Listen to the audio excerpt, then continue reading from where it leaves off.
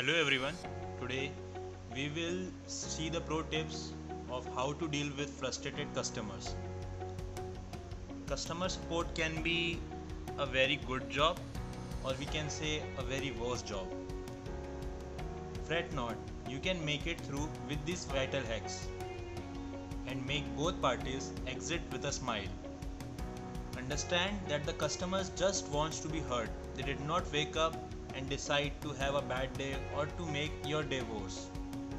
Pro tip number 1. Don't take it personally. Keep calm and breathe. Pay attention to their problem. Let them get it all out.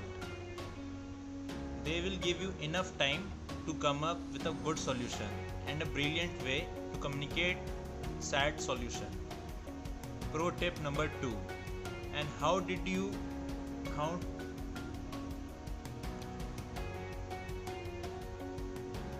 Pro tip number 2. And how did that make you feel? Listen, don't just hear out them. Okay? Take notes, ask them relevant standard questions, but be careful of your phrasing. Notes will help you to recollect the issue at a later stage of the crisis. Pro tip number 3 Empathy over sympathy every day. Summarize, don't repeat.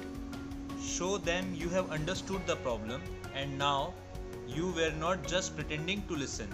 Throw out the we in favor of most.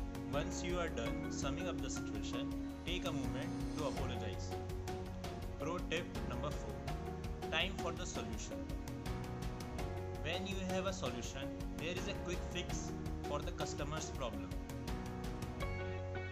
There is no immediate solution. Offer them a workaround if they are unappeased.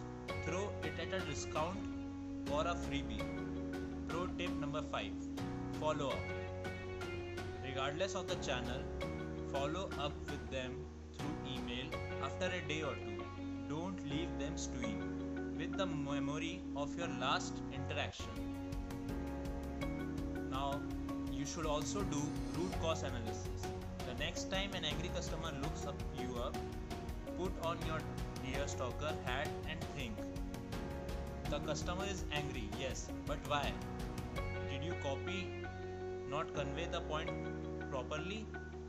Were your salespeople misinformed? Is there a problem with inventory? Trace the problem to its and fix it before it annoys the rest of your customer base. So here it was. Thank you. Please like, subscribe, and share.